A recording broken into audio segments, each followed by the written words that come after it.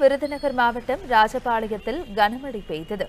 இந்த பலத்த மழையால் மாவட்டத்தின் பல பகுதிகளிலும் மூன்று மணி நேரத்திற்கும் மேலாக மின்தடை ஏற்பட்டது.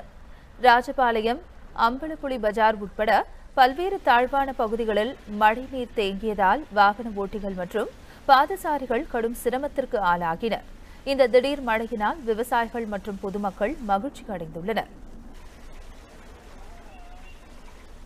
உண்மை செய்திகளை உங்கள் கண்முன் கொண்டு வரும் காவிரி நியூஸின் யூடியூப் சேனலை சப்ஸ்கிரைப் செய்யுங்கள். நொடிக்கு நொடி நாட்டு நடப்புகளை தெரிந்து கொள்ள Kaveri news dot TV Facebook Instagram Twitter போன்ற சமூக வலைதள பக்கங்களோடு எப்போதும் இணைந்திருங்கள்.